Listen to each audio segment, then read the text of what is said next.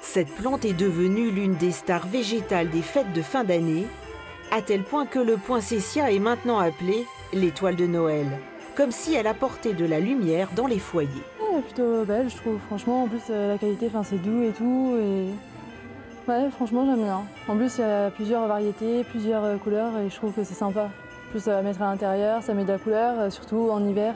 Séduisante, cette plante est également très surprenante. Alors, ce qui est rouge ici, ce ne sont pas des fleurs. Ce sont des feuilles, ça s'appelle une bractée. Plus étonnant encore, à l'origine, le poinsettia originaire du Mexique est immense, jusqu'à donner un véritable arbre comme celui-ci.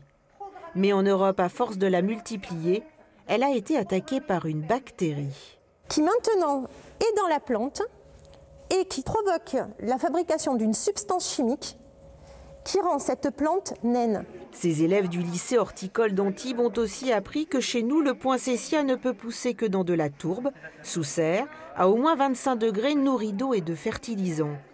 Mais la vraie magie, c'est que pour la faire rougir, on met cette plante dans le noir. On va obliger la plante à penser que les jours sont plus courts que ce que c'est réellement. Quoi.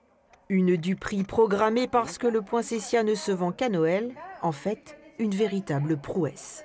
Si on ne programme pas, elle pourra sûrement euh, se mettre à fleurir, mais pas forcément au moment où nous, on le souhaite d'un point de vue commercialisation. Vous aurez du mal à la programmer chez vous. Donc c'est vraiment une notion de technicité et d'avoir un outil de production euh, professionnel pour arriver à maîtriser à ce point-là cette culture. Du coup, même s'ils sont d'abord là pour apprendre, les élèves, comme beaucoup d'acheteurs, sont surpris et séduits. Ce qui m'a marqué, c'était la couleur vif, vraiment des bractées. C'est pas souvent, c'est rare de voir une couleur comme ça en fait sur des feuilles. Le rouge et le vert, les couleurs de Noël, c'est joli. À la vente, le poinsettia est un produit phare pour cet établissement scolaire qui, au-delà de l'aspect financier, valorise surtout son savoir-faire.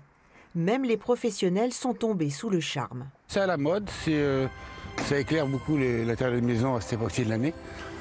Et euh, bon, le plus souvent, moi, je l'offre en vendant un sapin. Pour voir rouge, c'est donc maintenant. Les étoiles de Noël n'attendent que vous.